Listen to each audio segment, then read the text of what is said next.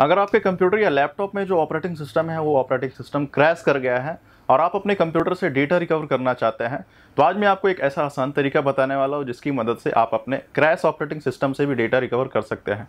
चाहे वो operating system Windows 7 हो 8 हो 10 हो या 11 हो, आप किसी भी क्रैश ऑपरेटिंग सिस्टम से भी आप अपने कंप्यूटर में इंपॉर्टेंट डेटा रिकवर कर सकते हैं। तो चलिए देखते हैं ये डेटा कैसे रिकवर होगा। डेटा रिकवरी करने के लिए सबसे पहले हमें एक बूटेबल पेन ड्राइव की रिक्वायरमेंट होगी, चाहे वो विंडोज़ सेवन की हो, एट की हो, टेन की हो या इलेवन की हो। बूटेबल पेनड्राइव बनाने के लिए आपको आईएसओ फ़ाइल डाउनलोड करना होगा। आईएसओ फ़ाइल डाउनलोड करके रिफ्यूज़ एक सॉफ्टवेयर आता है।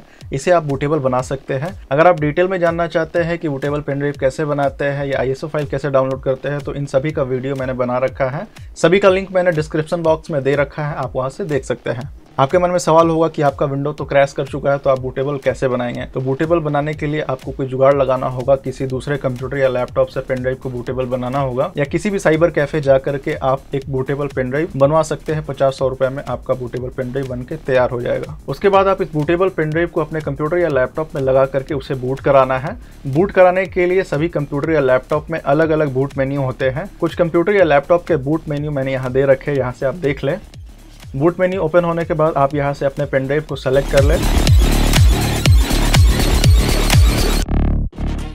यहाँ आप नेक्स्ट में क्लिक करें। यहाँ आप रिपेयर योर कंप्यूटर में क्लिक करें। यहाँ ट्रबल सूट में क्लिक करें।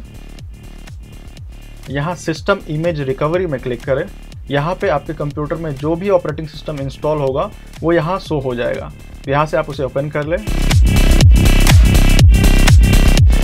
इसे आप कैंसिल कर लें नेक्स्ट करें, यहाँ एडवांस में क्लिक करें, यहाँ इंस्टॉल आर ड्राइव में क्लिक करें, यहाँ ओके करें। तो ये हमारा एक विंडो ओपन हो चुका है, यहाँ से आप अपने कंप्यूटर को एक्सेस कर सकते हैं। आपके कंप्यूटर में जो भी इंपॉर्टेंट डेटा है, किसी भी ड्राइव में आपने डेटा रखा है, यहाँ से आप उसे कॉपी कर सकते हैं, चाहे वो एक्सटर्नल ड्राइव लगा के कॉपी कर ले, या आप सी ड्राइव से डी ड्राइव में या ई e ड्राइव में भी कॉपी करना चाहते हैं। आपके सी ड्राइव में कोई इंपॉर्टेंट सॉफ्टवेयर का डेटा है, या कोई पर्सनल इन्फॉर्मेशन या जो भी आपका इंपॉर्टेंट डेटा है, जिसे आप बैकअप बनाना चाहते हैं, जिसका कॉपी लेना चाहते हैं, उसे आप अपने सी ड्राइव से या जिस भी ड्राइव से कॉपी करना चाहते हैं, उसे कॉपी कर लें। जैसे मुझे ये डेटा कॉपी करना है तो मैं इसे सेलेक्ट करके कॉपी कर लेता हूँ।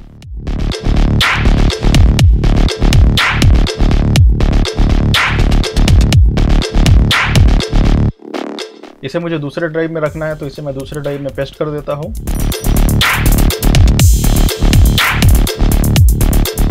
यहाँ पे आप एक चीज़ ध्यान रखेंगे, जब भी आपका डेटा पेस्ट होगा, वो इस तरह का सिंबल में दिखेगा। अगर ये सिंबल आपको दिख रहा है, इसका मतलब आपका डेटा पेस्ट हो रहा है तो आपको कंप्यूटर में कुछ भी नहीं करना। जब ये सिंबल हट जाएगा नॉर्मल हो जाएगा, इसका मतलब आपका डेटा कॉपी पेस्ट हो चुका है। चेक करने के लिए आप फिर से दिस पीसी में क्लिक करें। यहाँ आप देख सकते हैं हमारा डेटा आ चुका है। हम इसकी प्रॉपर्टी भी देख लेते हैं।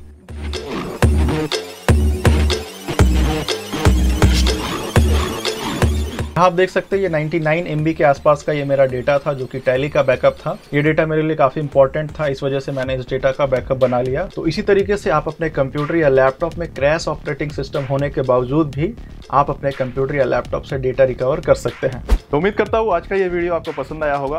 इसी तरह के इन्फॉर्मेशनल वीडियो देखने के लिए आप हमारे चैनल को सब्सक्राइब करना बिल्कुल ना भूलें। वीडियो पसंद आया तो वीडियो को लाइक करना भी ना भूलें। अगर आपके मन में कोई कन्फ्यूज़न है, कुछ पूछना चाहते हैं तो हमें कमेंट करके पूछ सकते हैं। तो मिलते हैं अगले वीडियो में। Thank you